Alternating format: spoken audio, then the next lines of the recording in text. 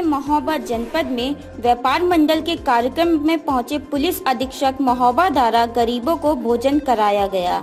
इस मौके पर समाज सेवियों ने एसपी महोबा मनीलाल पाटीदार की सराहना करते हुए उन्हें सम्मानित भी किया। जी हाँ, आपको बता दें समाज सेवियों द्वारा पिछले 10 वर्षों से गरीब परिवारों के लिए निरंतर भोजन की व्यवस्था की जा रही है। व्यापार मंडल महोबा की तरफ़ से यह आयोजन किया जाता है। समाज सेवियों द्वारा किए गए इस कार्यक्रम में एसपी महोबा मनीलाल पाटीदार ने शिरकत करते हुए गरीबों को भोजन कराया। कार्यक्रम के दौरान एसपी महोबा ने जनता से अपील करते हुए समय समय पर बेसहारा परिवारों की मदद किए जाने की बात कही। व्यापार मंडल द्वारा इस कार्यक्रम के दौरान समाज सेवियों ने एसपी महोबा मनीलाल पाटीदार की सराहना करते हुए उन्हें सम्मानित भी किया।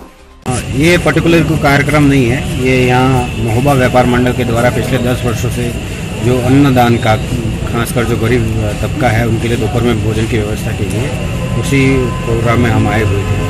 और ये देखकर काफ़ी अच्छा लगा कि व्यापार मंडल अपने स्वयं इसको लेते हुए इस तरह की व्यवस्था इन्होंने की है ताकि कोई गरीब, कोई निचले तबके का व्यक्ति भूखा ना रहे। इनका एक बहुत अच्छा प्रयास है और हम ये आशा करते हैं कि भविष्य में इसको आगे रिकग्नाइजेशन भी मिलेगा और बहुत आगे बढ़ेंगे।